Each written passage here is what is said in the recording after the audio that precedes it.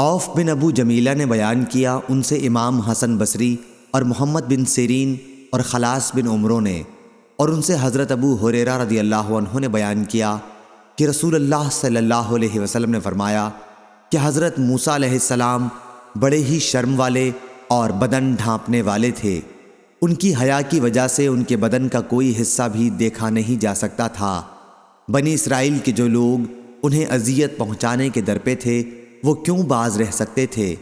ان لوگوں نے کہنا شروع کیا کہ اس درجہ بدن چھپانے کا اہتمام صرف اس لیے ہے کہ ان کے جسم میں عیب ہے، یا کوڑ ہے، یا ان کی خصیتین بڑے ہوئے ہیں، یا پھر کوئی اور بیماری ہے۔ ادھر اللہ تعالیٰ کو یہ منظور ہوا کہ موسیٰ ان کی حفوات سے پاکی دکھلائے۔ ایک دن حضرت موسیٰ علیہ السلام اکیلے غسل کرنے کے لیے آئے اور ایک پتھر پر اپنے کپڑے اتار کر رکھ دیے۔ پھر غسل شروع کیا۔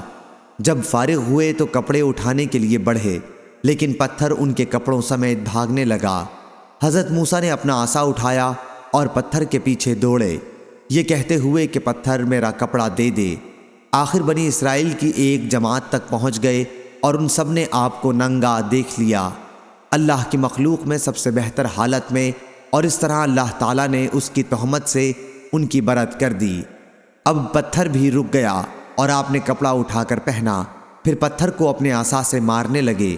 خدا کی قسم، اس پتھر پر حضرت موسیٰ علیہ السلام کے مارنے کی وجہ سے تین یا چار یا پانچ جگہ نشان پڑ گئے تھے۔ اللہ تعالیٰ کے فرمان، تم ان کی طرح نہ ہو جانا جنہوں نے موسیٰ علیہ السلام کو اذیت دی تھی۔